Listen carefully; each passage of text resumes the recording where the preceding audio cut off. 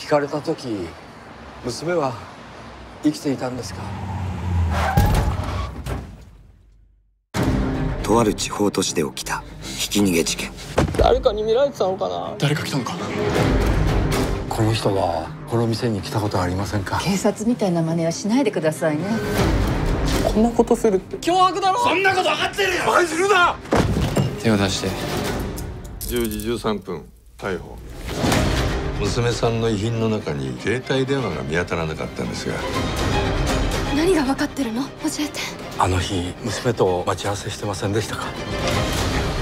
隠された人間の奥底があらわになってゆく。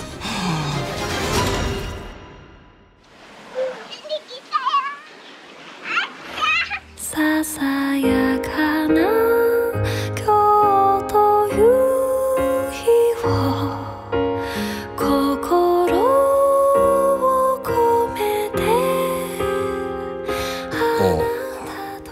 帰ってこないことも分かっています。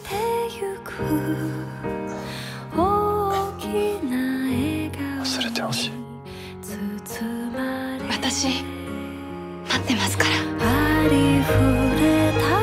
誰かを責めて楽になるならいくらでも責めるわ。それでも人生を歩いてゆく。決して消えることのない痛みを胸に。千鶴子ありがとう。